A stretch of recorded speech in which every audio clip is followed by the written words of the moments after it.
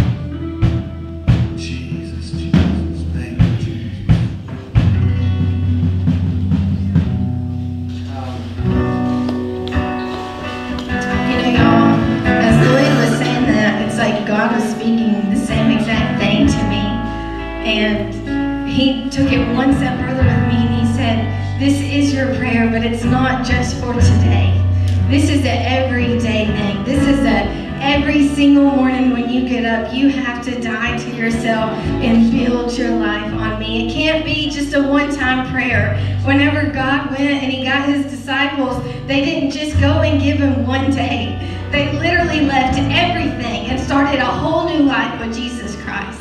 And that is what he is calling you to do today. We, we get so caught up in our emotions and the circumstances, and it's so easy because we don't really have that foundation. We say we do because we go to church and we do the Christian things, but we are daily seeking him. And without that daily, intimate relationship with Jesus, you're not going to have the foundation. You're not going to get the peace.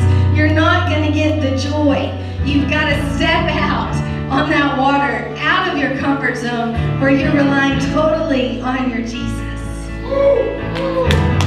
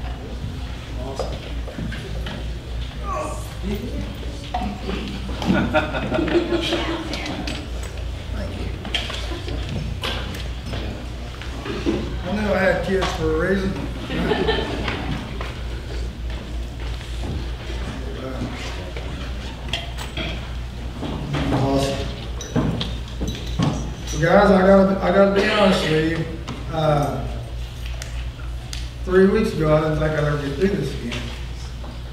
To be honest with you. When they, when they put me in the ambulance, I didn't actually know whether I was gonna get to come home or not. So I'm very, very thankful to be standing before you today in the house of my King. And just, just that God's good. Yes, we can do that, yes. I am, I am so, so very, very thankful. And Today, uh, you know, for a while there, uh, God didn't speak.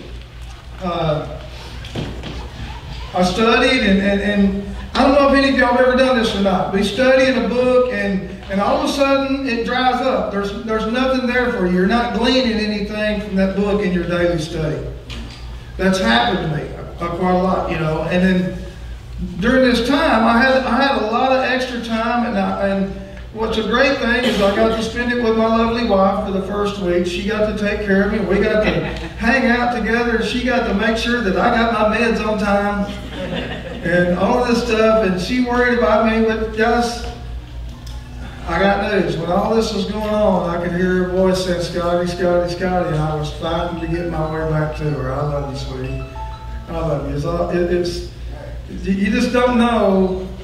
I, I'm, I'm just probably one of the most treasured people in the world. I mean, rich people in the world. I found true love with my life. I did. Yeah, I did. I love the phone more than anything else in the world. no, I'm just kidding. I love my wife. But uh, then, then all of a sudden, uh, God began to speak, and it was this morning. I knew I was supposed to preach. I knew I wanted to preach. I didn't know what I was going to preach. I kept, I kept, man, I kept digging and kept digging, and God wasn't speaking. What's going on? Yesterday, Luke and I went hunting and pairing, and I sat up on a deer stand and I began to think, and, and I actually said something to you about this. Uh, I actually had the opportunity to go over to the lake and, and visit a houseboat that was bigger than the house that I lived in.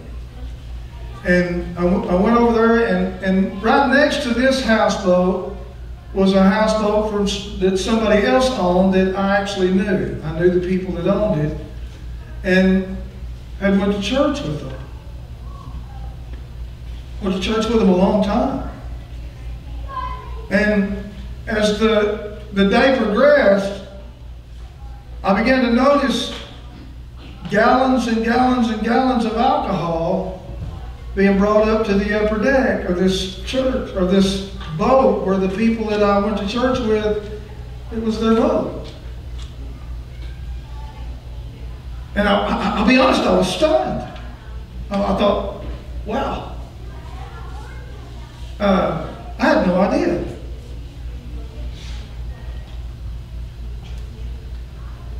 And guys, I, I, I began to reason with that in my mind, and I kept thinking, how can they call themselves Christians, be a member of a church, supposedly a New Testament church, and then this is the action that they take. This is how they lived apart from Sunday morning service. And this morning, God began to speak. Actually, He's been speaking for a while because uh, Luke, Luke, Luke's been teaching this on Wednesday night. If any of you have never heard his testimony about what he went through with God, I would, I would suggest that you sit down with him and just let him talk to you about what he went through with God. But in the end of his testimony, God spoke to him and told him, You don't know me. You don't know me. You see, as, as, as people that we call Christians, we, we, we sign ourselves as Christians and we go to church and we, we study God's Word and we can probably tell you many of the, the biblical stories that we learned in, the primary uh, classes at church. You know, uh, Jonah and the whale. You know, or, or as Medea would call it, Jonah and the ark, you know. Yeah. I'm glad somebody's listening. That's great. That's great. Well, we remember Daniel in the lion's den and, and, and David slaying Goliath. We remember all those biblical stories that are the great faith and great feats of, of, God. But do we really know God?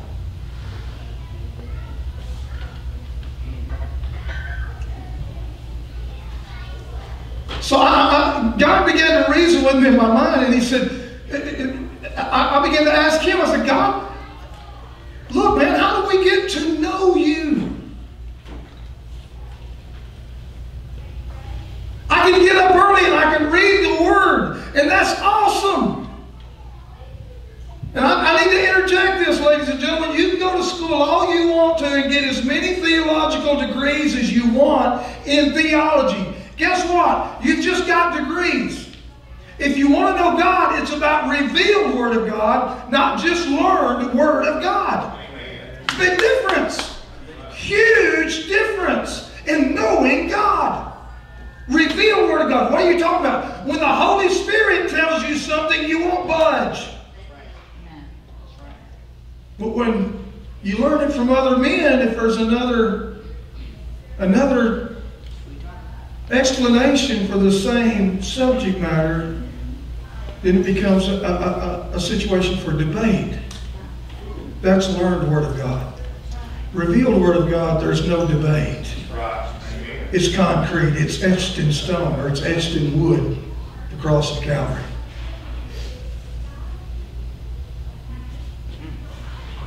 So God began to talk to me. Scotty, how did you know me?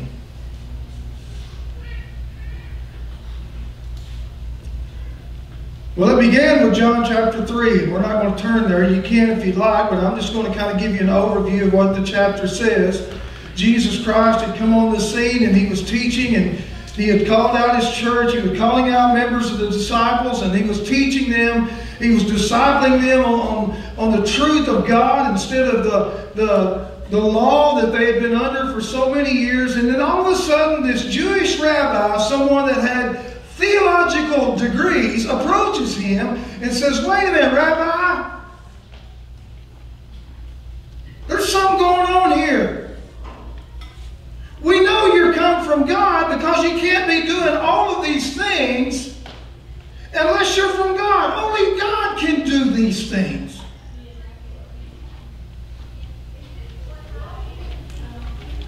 That's what Nicodemus told him. And Jesus at a rabbi that had theological degrees and said, Hey man, you gotta be you gotta get saved. Yeah, you need saved. You need to get saved. What do you mean? Well, that's not what it says. It says you must be born again. What do you think getting saved is? You got to be born again. You got to be born again. Nicodemus, he says, wait a minute, God, how can you do that? I can't go back into my mother's womb and be born. And, Nicodemus, and, and Jesus Christ looked at him and said, Nicodemus, you're a scholar. You're a theologically educated moron. That which is flesh is flesh. That which is spirit is spirit. And you don't know the difference. You don't know the difference.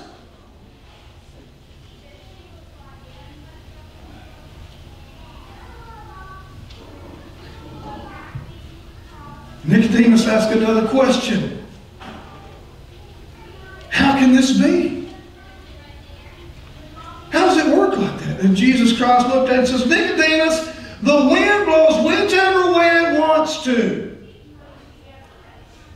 And you can't see it. But you see its effects.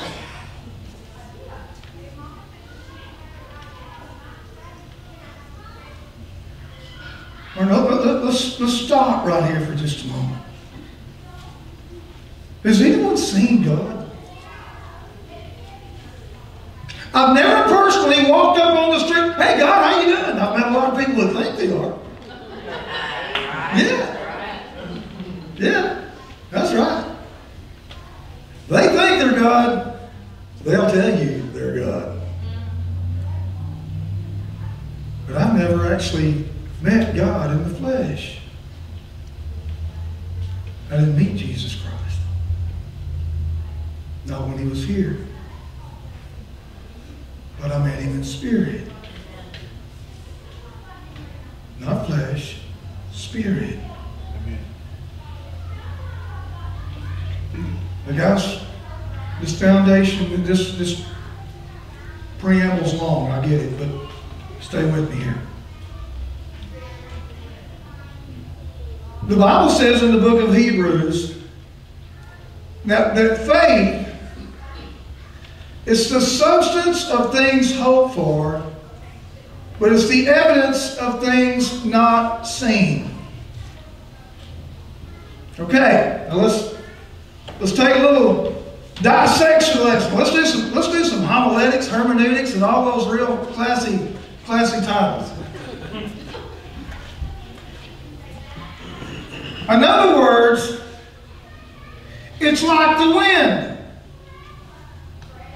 It's the evidence of not things not saying. I can't see what is doing this, but I know something is doing this because I can see the effects of what's going on in my life. It's real. It's real, and I can't explain it. I can't see the root, but I know who's doing it, and it's God. Why? Because I asked Him to.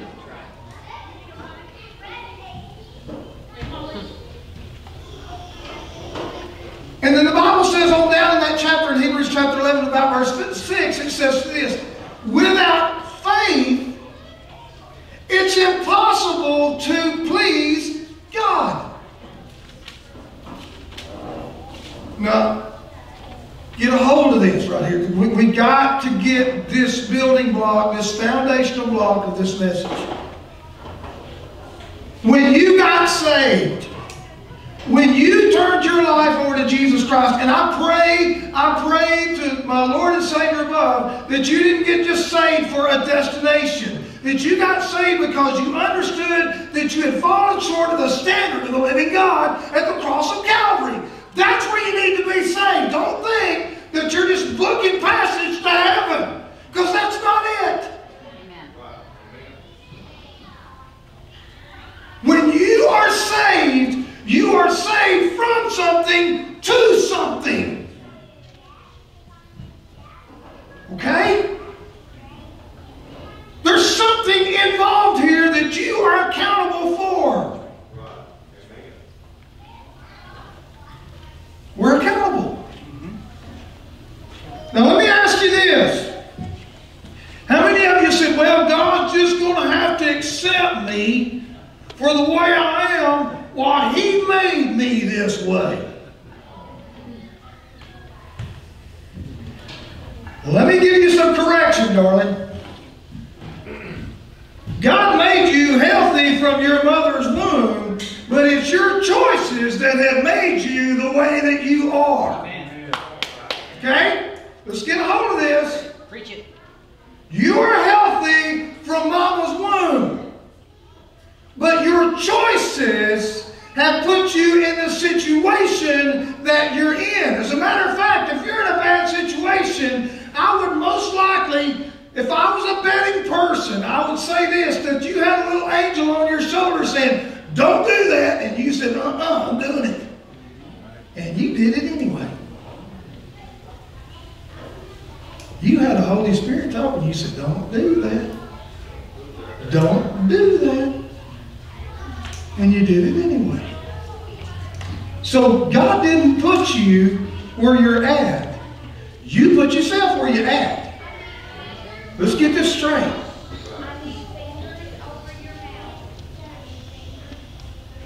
So we're saved from something to something, and we are responsible for our actions on what we're doing. And if we're saved, then our desire should be to please God and exercise faith. Does that make sense? Everybody, everybody add that up? Two and two does make five. Yes, it does. 2.4 and 2.4. 2.4 rounds off to 2. Right? It's not 2.5, it's 2.4. Rounds off to 2. But 2.4 plus 2.4 makes 4.8, and that rounds off to 5. That's right. Man, where you, where y'all, don't know your gazetas. We're going to have to have a mathematics lesson too. Man. So y'all need to be waitresses. You learn that on a tip. All right. Now that I've got your attention. Now that we've got your attention. Let's go to Matthew chapter 14. Matthew chapter 14.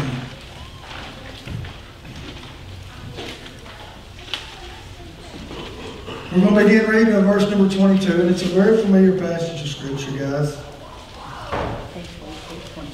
Very familiar. Everybody knows, that everybody's heard of this passage of Scripture when Jesus walked on the water.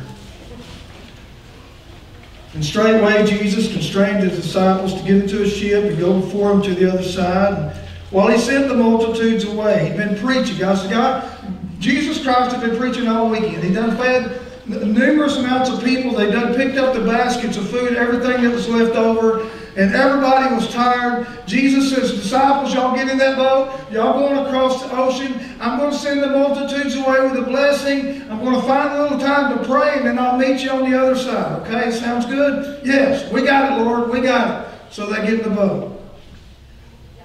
When he had sent the multitudes away, he went up into a mountain apart to pray. And when the evening was come, he was there alone. But the ship was now in the middle, excuse me, it says midst in King Jimmy, but that's the middle, of the sea, tossed with waves, for the wind was contrary. And in the fourth watch of the night, Jesus went unto them walking on the sea. When the disciples saw him walking on the sea, they were troubled, saying, It is a spirit. And they cried out for fear. But straightway Jesus spake unto them, saying, Be of good cheer, it is I, be not afraid. Now, guys, they're all in the ship, they're all in the boat. I mean, it, this is worse than going across Ouachita in a, in a 10 foot flat bottom and you got heavy people riding with you.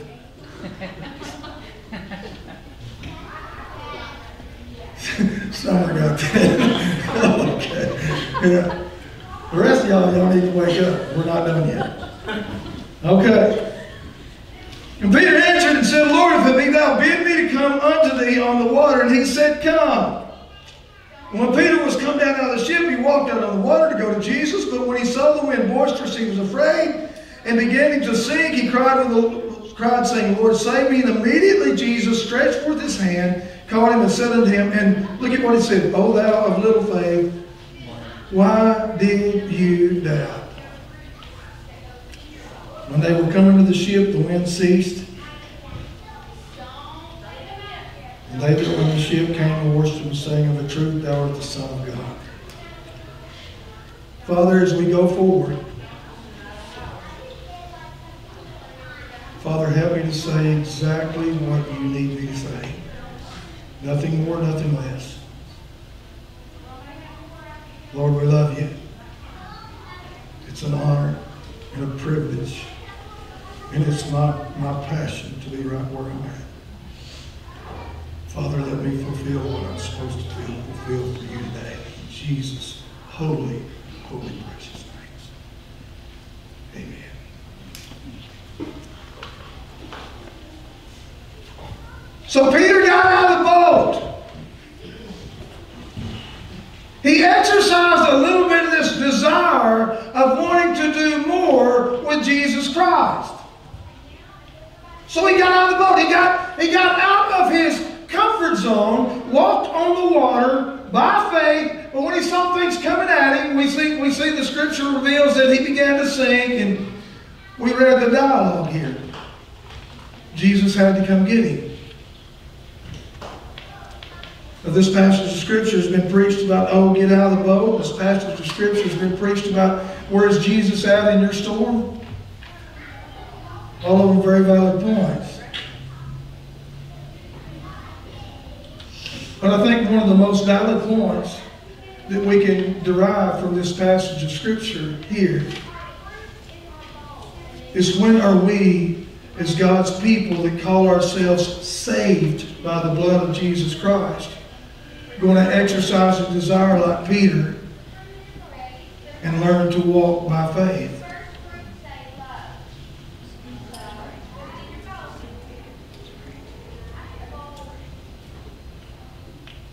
You see,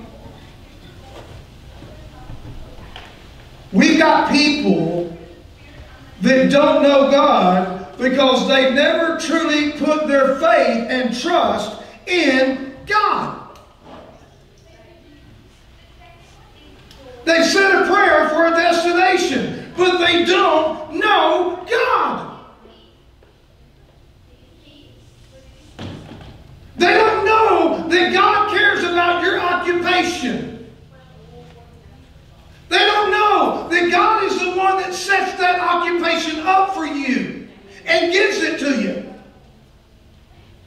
They don't know that the food that sits upon their table is from the hand of God. They don't understand that the money that they make and they, they, they put in their wallet is actually of God, and He's trusting you to give Him back 10% of that. Why? Because it was all His money to start with. He's trying to get you to trust Him.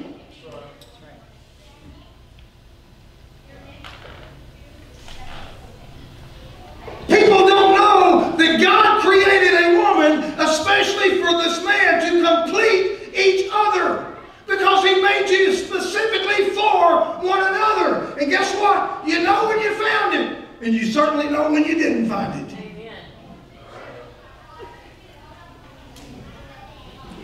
We're not trusting God on that. That's our decision, right? No. It's God's.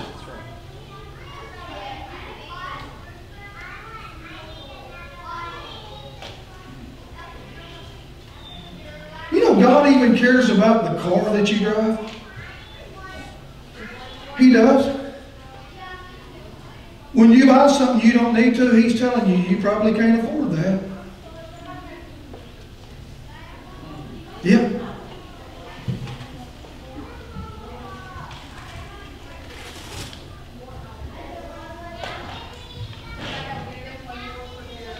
God, God literally, ladies and gentlemen, i- is about every aspect of our life. But we're not living by faith. We're not trusting Him. We're, we're walking by our own decisions. And then we're blaming God for where we get to be.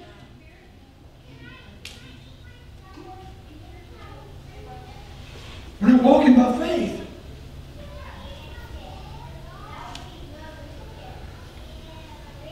Character. What is character? Character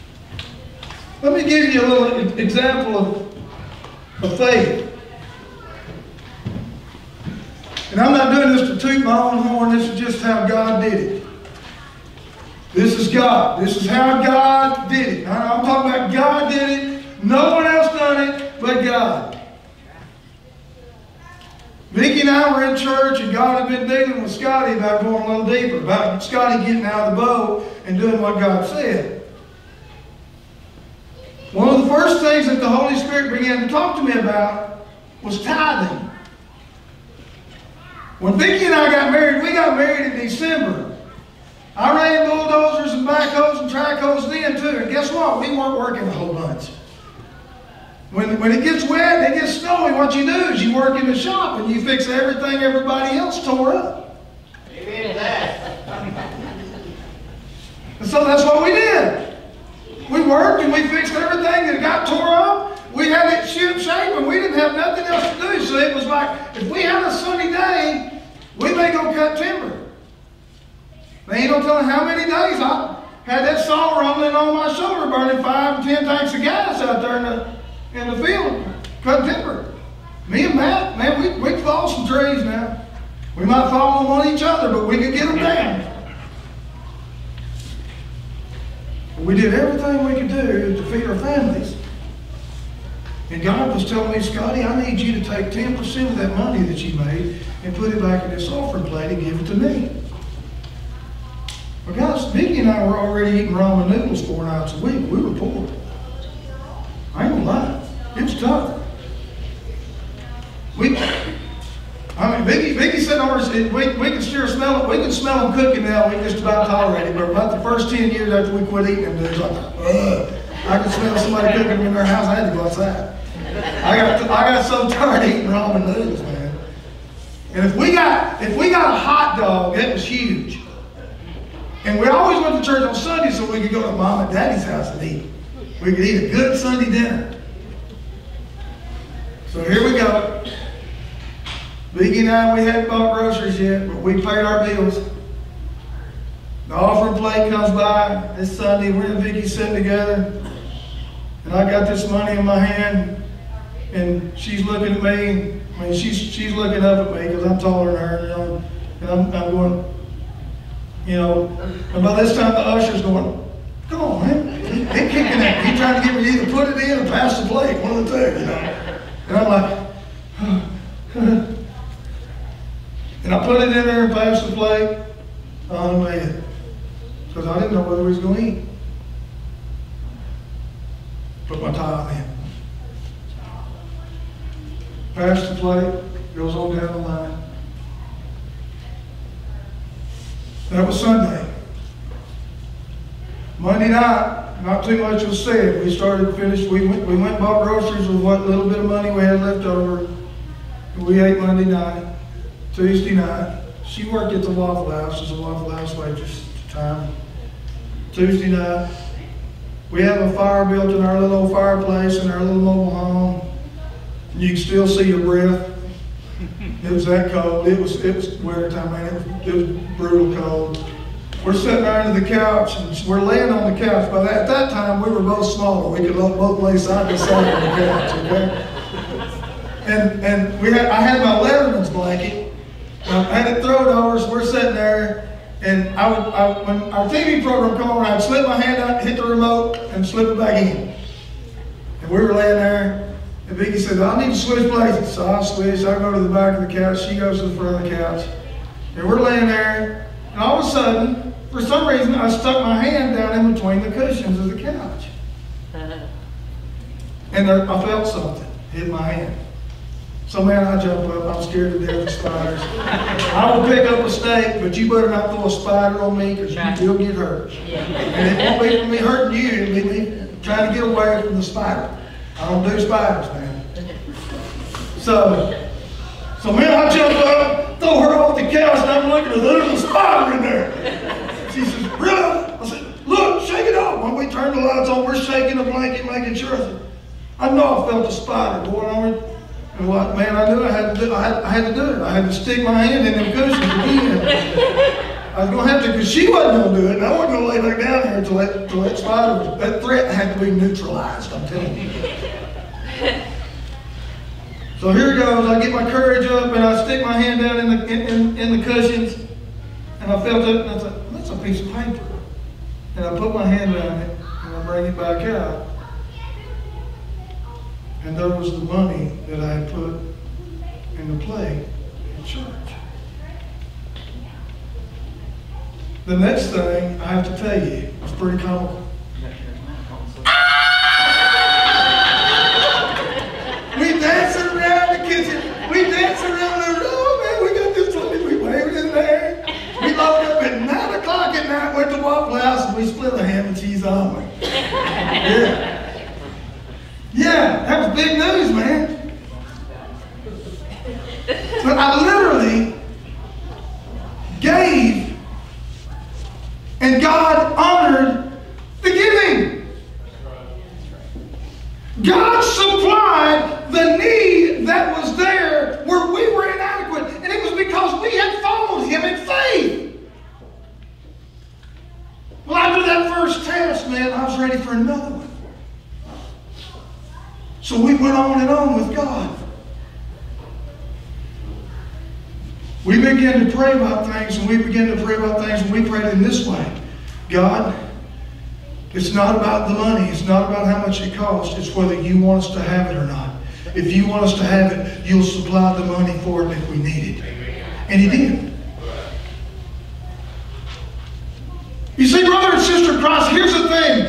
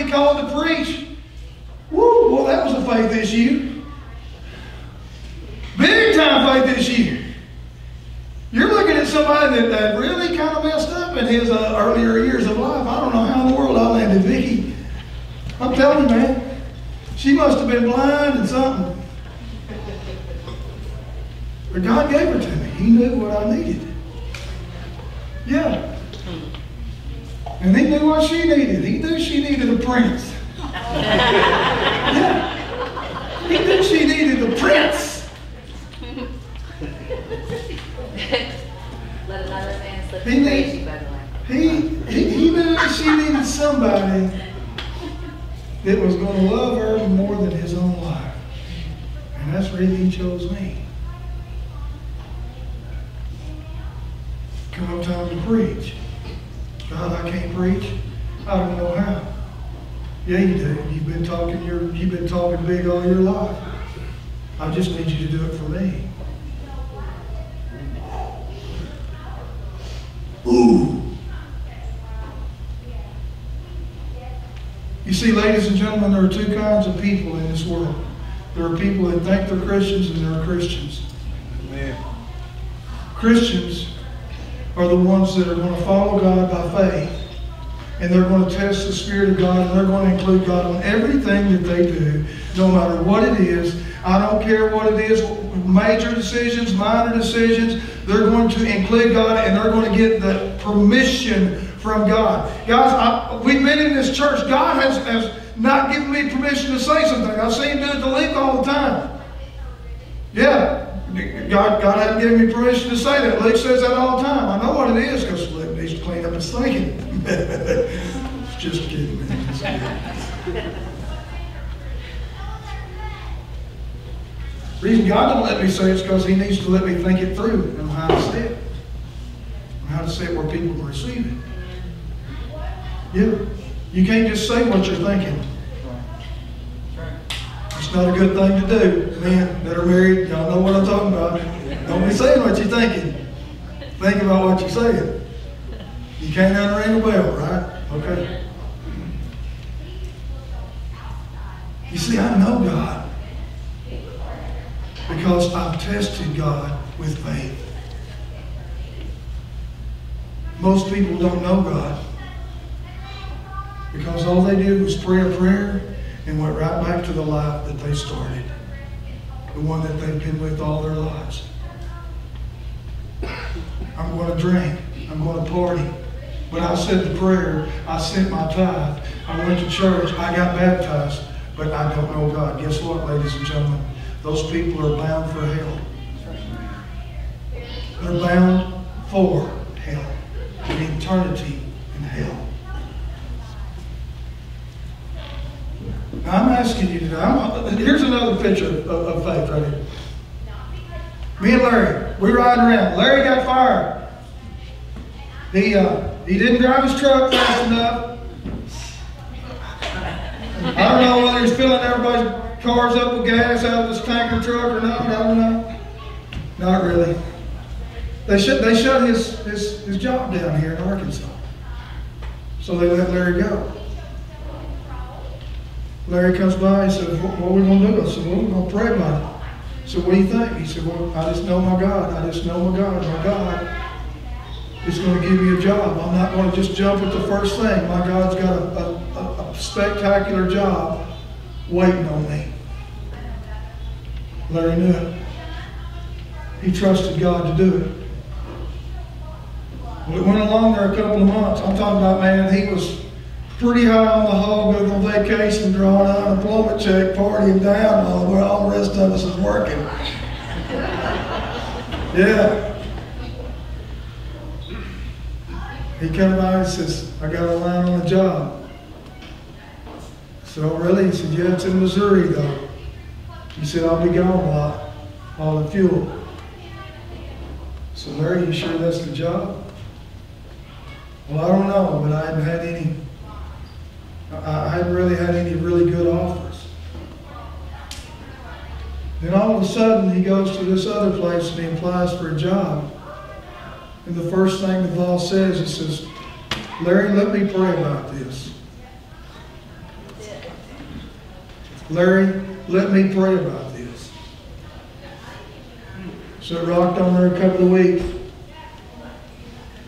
Larry called him back. Guy says, man, I want you to come to work. I just ain't got a truck for you yet. Larry said, well, I'm going to do something yeah, now. You know, I got to do something. He says, he says, I'll figure it out. I'll figure it out. So he's in training at this new job, and I think he likes it pretty good. And hopefully they'll get him what he's used to, one of the 389 Pete's stretched out with all the chrome, big motor. I hope you have an 18 over though. I, have I hope you have to shift a lot. and since you are driving a Pete, you know. But God gave him his job. You see, that's Christian. That's faith. Here's the thing. If you don't get out of the boat, you're not going to go anywhere with God.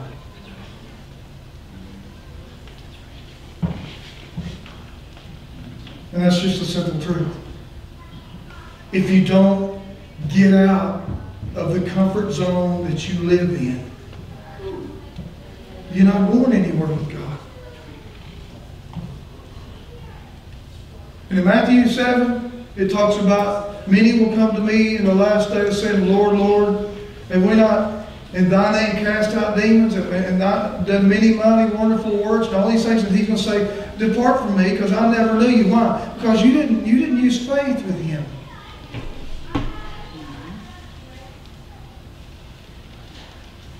Did you pray? Oh, yeah. I, I prayed that prayer for my destination, for my reservation in heaven. Wait a minute, buddy. I'm not a travel agent. God. You see, I needed you to put yourself out there.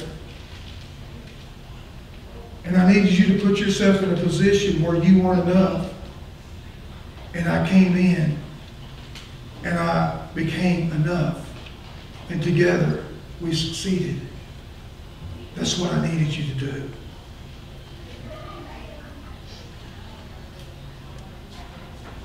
How many of you feel like you need God's wanting you to start a business?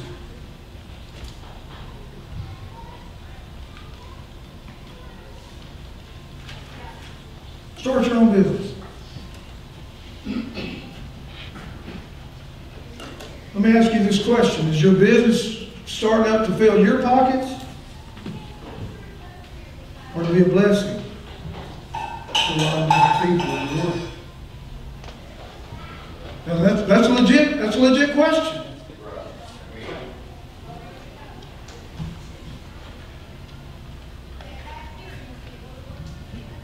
You ask God about it? God said yes? Or God said not now? That's an answer. Not right now. Or God said no?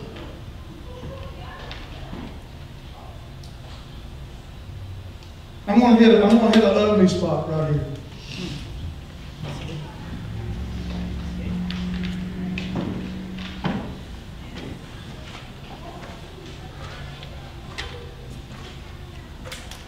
The reason I married Vicki wasn't because she was the only girlfriend I could find. But it was because then I knew that she would take my kids to church if something happened to me. Y'all might think that's the craziest reason in the world. But it's not. I loved her. But you know, I liked a lot of other people too. I, I can't say love. I, I thought a lot of other people too. But they didn't have what Vicki had. Knew, Vicki, that if we ever got together,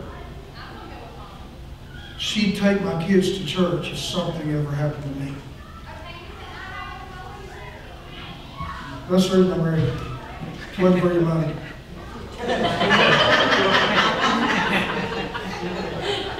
Wasn't for her vet either. Yeah. Man, we first started dating, I said, what kind of car you drive? She said, a vet. I'm going, yes. I walk outside, she said, she said, Where, I said, where's it at? She said, right over there. I said, a Chevette? It's not a Corvette, it's a Chevette. but that's all right. She drove a vet. So my girl drove a vet.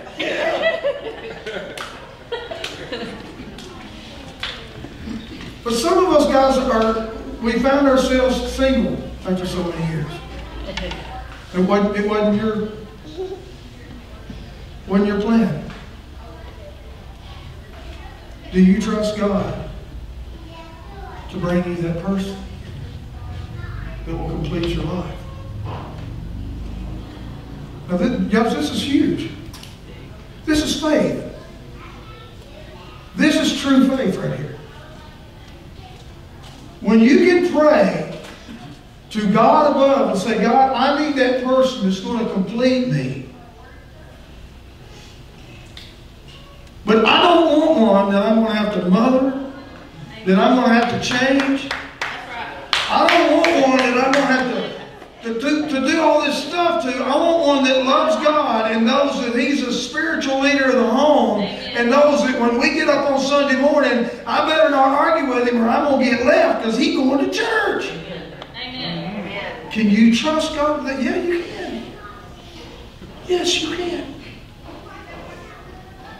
He's out there somewhere. But if you ask God about it, or how about that woman that will complete you? You see, guys, here's, here's, the, here's the whole thing in a nutshell. Till you give God His preeminence in your life, you're not going anywhere. And you're going to keep making the same mistakes over and over and over and over and over and over again. This message is about people truly becoming Christians. It's about challenging you to get out of the boat. It's about challenging you to get up in the morning, lose a little sleep, read your Bible, and pray. Ask God's blessing on your day. And even when you don't understand what you read in the morning, give Him the opportunity to make sense of it along in your day. Yeah, mull over. He's he, look. Psalms chapter one says, "Meditate day and night. Meditate. Think about it. Why? Because the Holy Spirit's going to bring that revealed Word of God. Whoa! Yeah.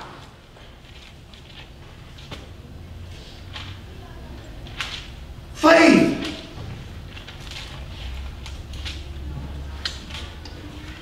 It's becoming what we should be in the eyes of God. Not just someone that names the name of Christianity and then damages that name of Christianity by their deeds in the boat next door because they're not living the Christian life. And how many people are they influencing that are going to land in hell right beside them? That's right. That's right. Right beside them.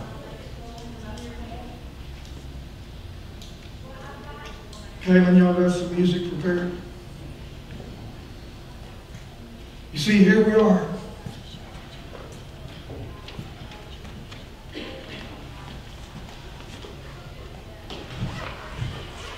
One step at a time, guys. Listen, your faith, this faith thing, if it's new, listen, listen to me. Don't jump out there and go to running hurdles. Okay? Don't go to the high jump bar and think you're going to clear six foot. Or for some of us, it probably needs to be the, what is that thing you go under, the limbo? And some of us need to go limbo. We don't need to go high jump. We, we might break a hip or something here. But start small. Start small with God. Crawl before you walk. But start. Because when you start, God is going to answer. And when He answers, guess what? There ain't none of us going to be able to shut you up about the good things what God's done for you. That's, that's the honest truth. I'm telling you. Once you start and God begins to see you through, you won't be able to be quiet about it. You will testify to everybody about what good God has done for you. That's the truth.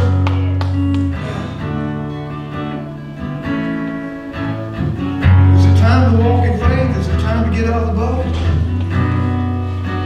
Is it time to get uncomfortable? And do some things we know we need to do? Yeah, it's time. It's past time. To get off the milk. It's time to get some meat going on here. Yeah. It's time to get some meat. How about where you at today? Do you know Jesus Christ as your Savior? Ladies and gentlemen, let me tell you something.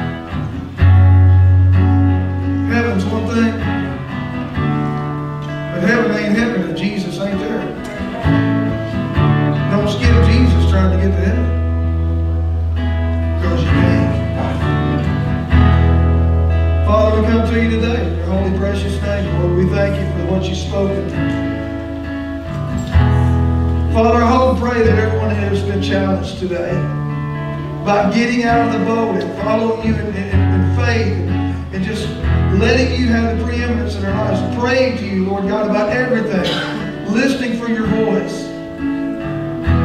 Father, in Jesus' name, just knowing whether you're in it, if you're in it, then it's okay. If you're not in it, we need to leave it alone. Father, I pray in your holy, precious name today that the Holy Spirit begins to convict. I know there's people here today that's not living like they should. They're not living there. Now, now their wife's doing it for them, or their husband's doing it for them. They're not living in faith. They're just tagging along for the ride. Father, it's time all of us as individuals, time that all of us begin to walk in faith and just allowing you to fight our battles, win our battles, to bless us, to see us through, to test us, to make us stronger, Father God, that we may wax great in your word, that we may wax great in your love and in your and, and in your intent, Father God, become the vessels of honor that you desire us to be. Lord, today,